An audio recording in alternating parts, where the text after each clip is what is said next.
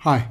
Now for this part then, we've got to verify that the point P with coordinates pi, pi upon 8, lies on the curve C with this equation here, x equals 8y times tan 2y.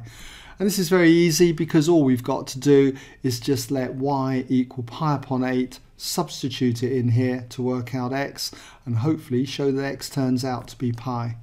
So we'll just start off by saying that when y equals pi upon 8. It follows that we get x equals 8 times y, so that'd be 8 times pi over 8. I'll put that in brackets there. Multiplied by the tan of 2y. Tan of 2 times y. 2 times pi upon 8 is pi upon 4.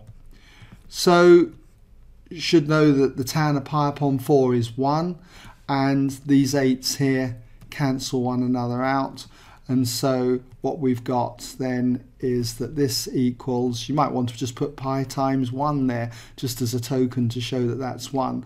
Leave it up to you though, but it's pi. Okay, so therefore P must lie on the curve. So P lies on the curve C.